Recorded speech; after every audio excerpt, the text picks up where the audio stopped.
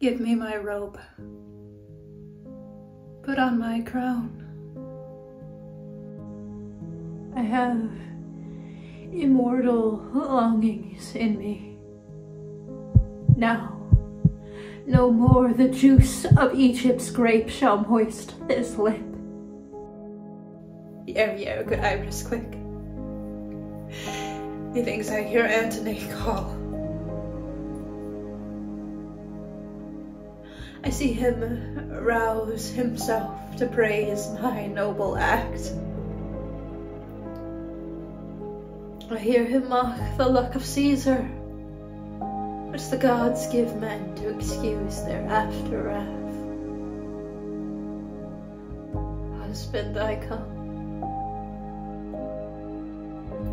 Now to that name my courage prove my title. I am fire and air. My other elements I give to baser life.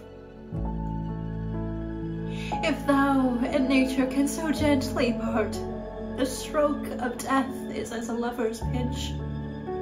It hurts and is desired.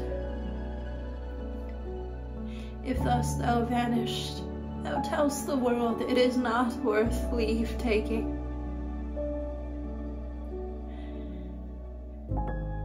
Come, thou mortal wretch with thy sharp teeth this knot intrinsicate of life at once untie. Or, venomous fool, be angry and dispatch.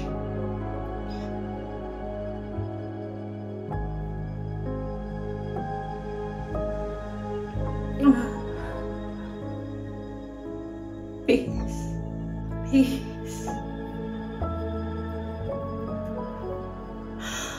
Oh, Antony. Nay, I will take thee too. But